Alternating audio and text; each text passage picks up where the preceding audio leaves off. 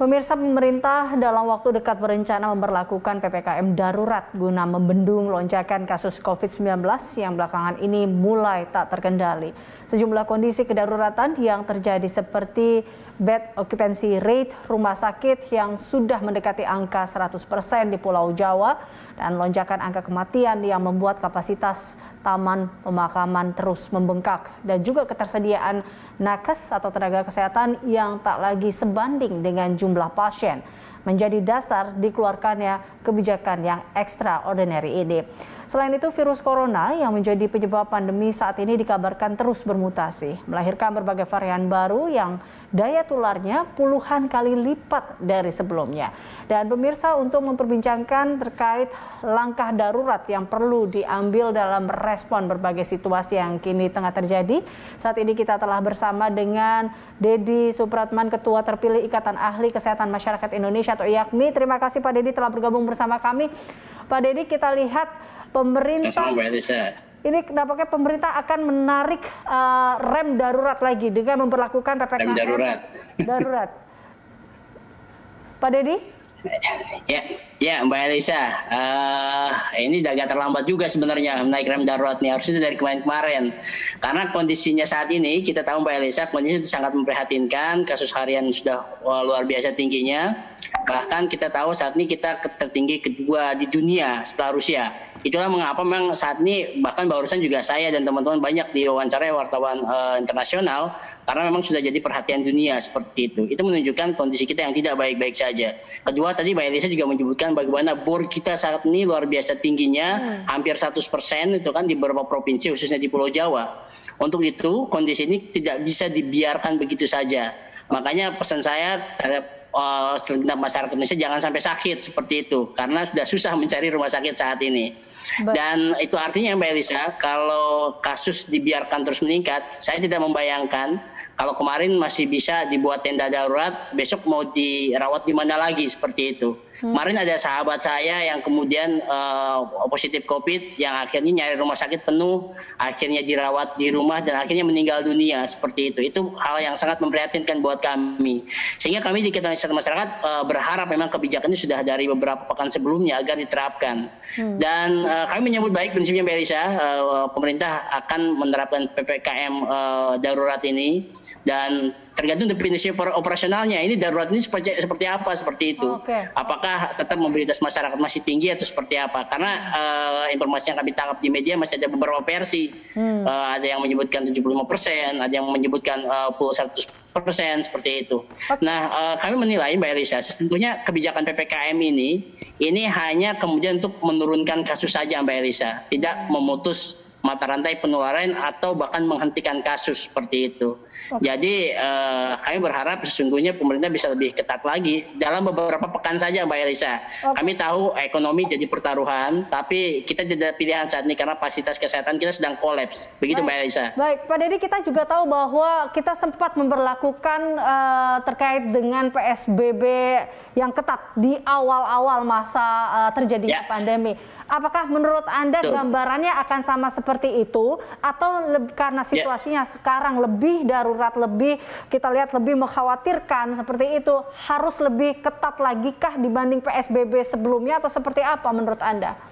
Ya, pemerintah punya dua pilihan. Kalau posisinya ingin menurunkan kasus, bisa uh, eh, ppkm mikro atau mungkin psbb seperti itu. Hmm. Itu itu uh, saya yakin kasus akan menurun. Tapi ini tidak akan selesai seperti itu. Hmm. Kalau menyelesaikan kasus, kita lihat di beberapa negara mau tidak mau kita uh, membuat kebijakan semacam karantina wilayah atau lockdown seperti itu. Namun sekali lagi, jangan membuat narasi yang menakutkan masyarakat seperti itu lockdown atau mungkin karantina wilayah ini ini adalah sebuah upaya untuk membatasi mobilitas masyarakat. Ini tidak diberlakukan jangan lama-lama juga seperti itu. Pasti masyarakat tidak akan kuat seperti itu. Ini pilihan kembali ke pemerintah. Kalau memang uh, sebatas PPKM mikro ya pasti tujuannya hanya untuk kemudian menurunkan kasus saja Mbak Elisa. Hmm, hmm. Tapi kalau kemudian untuk memutus mata rantai penularan, ingin menghentikan atau uh, menghentikan uh, pandemi Covid ini di Indonesia, mau tidak mau pilihannya adalah lockdown seperti itu. Okay. Namun sekali lagi uh, pemerintah harus siap karena banyak hal-hal yang harus diperhatikan. Dan saya berharap narasi dokter ini jangan ditakut-takuti seolah-olah kita tidak bisa apa-apa. Tetap semua ada uh, aturan mainnya saya kira. Jadi yang terpenting adalah bagaimana saat ini menyelamatkan uh, masyarakat Indonesia agar pandemi COVID ini bisa segera menurun dan uh, saya berharap uh, pemerintah bisa melihat bagaimana sahabat-sahabat kami di fasilitas kesehatan yang saat sudah kolaps, hmm. banyak yang sudah uh, sakit bahkan banyak yang wafat juga seperti itu. Baik. Dan di samping itu juga obat-obatan juga sudah mulai susah dicari hmm. seperti itu. Baik. Nah, ini menurut Anda tadi berapa lama sih kira-kira memang dibutuhkan waktu kalau memang akhirnya kita memperlakukan PPKM darurat ini Kira-kira berapa lama jangka waktunya Pak Dedi? Ya minimal 14 hari. 14 hari kita evaluasi seperti itu. Jika bisa dalam waktu 28 hari itu lebih baik. Tapi saya yakin uh, apa teman-teman di uh, pakar ekonomi akan uh, keberatan terkait hal ini. Namun sekali lagi uh, posisi kami uh, sebagai ahli kesehatan masyarakat pada posisi menghimbau dan mendorong agar pemerintah kemudian lebih ketat menerapkan ppkm eh, apa darurat ini hmm. karena saat ini ya sudah tidak pilihan seperti itu kalau seumpama sekarang kasus terus meningkat atas 20 ribu, kita tidak tahu lagi pasien itu mau dirawat di mana lagi seperti itu. Baik, Sehingga baik. tidak ada pilihan kemudian untuk memperketat kebijakan PPKM darurat itu. Ada dua pulau yang menjadi perhatian pemerintah yaitu adalah Pulau Jawa dan Bali. Anda sepakat dengan dua pulau ini, Pak Dedi? Ya, ya eh, Jawa tidak ada pilihan. Jawa tidak ada pilihan. Sekarang kita lihat angka bor di DKI itu sudah di atas 90 persen, Jawa Barat sudah di atas 90 persen, lalu Banten juga di atas 90 persen. Kalau dibiarkan eh, terus meningkat, yaitu pasien mau dirawat di mana lagi seperti itu. Tidak ada pilihan itu harus diterapkan. Bali uh, juga demikian saya kira. Jadi memang harus uh, narasinya memang PSBB seperti itu. Kalau PPKM ini kan lebih sifatnya mikro seperti hmm. itu. Lagi-lagi saya ingatkan Mbak Mbak Elisa, kita tidak bisa pendekatan berbasis hanya kota atau provinsi saja. Virus ini kan tidak mengenal batas wilayah seperti Mbak Elisa. Sedangkan mobilitas masyarakat, mohon maaf di wilayah Jabodetabek itu kan mereka itu kan kerja di ke DKI itu tiap hari mobilitasnya sangat tinggi seperti itu. Jika hanya DKI saja yang kemudian diketatkan, sementara wilayah uh, sekitarnya tidak diketatkan, maka akan percuma seperti itu kebijakan yang dibuat oleh pemerintah. Hmm. Maka leadership pemerintah pusat ini yang sangat kita nantikan seperti itu Mbak Elisa. Baik, baik. Ini kita juga tahu uh, menghadapi varian baru seperti varian Delta ini, apakah memang uh, terkait dengan prokes yang selama ini dilaksanakan mulai dari 3M sekarang sudah jadi 6M, lalu kemudian ada 3T yang selama ini telah diterapkan Apakah ini sudah cukup menurut Anda Pak Dedi atau mungkin harus ada hal lain yang memang harus digerakkan lagi karena memang saat ini jatuhnya sudah uh, dalam kerangka kedaruratan? Ya, Mbak Elisa, dengan prokes kemarin kan kita melihat sebenarnya sebelum Lebaran kasus sudah cukup landai seperti hmm, itu. Ya. Kasus ini kan mulai tinggi lagi setelah kemudian uh, apa uh, lebaran tuh kan lalu kemudian uh, apa uh, ya mobilitas yang tidak bisa kita kendalikan itu yang kemudian meningkatkan kasus uh, COVID di Indonesia begitu tinggi seperti itu. Ditambah memang ada varian baru yang uh, cukup banyak varian Delta khususnya yang memang pada posisi uh, saat ini saya lihat masyarakat juga sudah mulai jenuh gitu kan yang juga terus harus kita motivasi. Di samping itu saya lihat aspek lainnya masyarakat ada euforia vaksin merasa divaksin sudah kebal seperti hmm. itu. Sehingga bebas ke mana-mana. Beberapa teman yang saya temui juga saya lihat pas di kantor eh kenapa nggak pakai masker tuh kan sudah divaksin seperti itu. Ini hal yang jadi keprihatinan juga uh, ada mispersepsi terkait dengan vaksinasi. Kita masih jauh dari herd immunity seperti itu. Jadi saya berharap pada teman-teman yang kemudian saat ini sudah divaksin tetap melaksanakan protokol kesehatan secara ketat. Yang kedua kepada segenap uh, pemerintah pusat dan daerah juga yang melaksanakan vaksinasi massal mohon diperhatikan.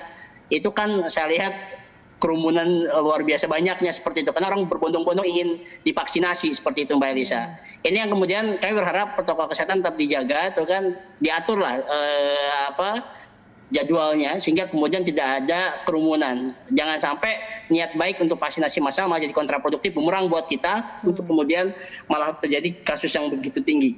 Oke, baik. Barangkali Begitu Mbak Elsa. Baik, nah ini kalau kita berbicara tadi ya vaksinasi yang saat ini memang digencarkan oleh uh, pemerintah, Anda melihat langkah-langkah ini termasuk dari langkah antisipasi juga nggak sih sebenarnya Pak Dedi? Karena kita lihat targetnya adalah untuk bulan Juli 1 juta per hari, kemudian di Agustus 2 juta per hari. Anda melihat bahwa langkah ini satu langkah yang ambisius atau seperti apa? Mampukah kita untuk mendapatkan ini? Ya, uh, Ya, kita tidak ada pilihan untuk kemudian mengenjot itu. Kita lihat beberapa negara seperti India saja. India itu sampai 5 juta per hari seperti itu. Hmm. Itu uh, apa? Saya kira kita juga bisa meniru itu. Artinya memang pada posisi kita harus meningkatkan uh, cakupan vaksinasi kita. Dan saya lihat kita mampu untuk melakukan itu, itu kan. Kemarin juga kan sebenarnya kita sudah cukup baik, tapi kemudian suplai vaksin uh, terbatas waktu Betul. itu sehingga ya. ada uh, penurunan. Tapi kemudian sekarang kan uh, vaksin sudah tersedia kembali. Jadi pada posisi ini saya berharap uh, kita bisa mengenjot lagi uh, cakupan vaksinasi tersebut, tuh kan. Namun memang sekali lagi yang saya ingatkan adalah jangan sampai ini kontraproduktif menyiapkan tempat vaksinasi massal, tapi kemudian malah kerumunan di mana-mana. Ini konyol menurut saya.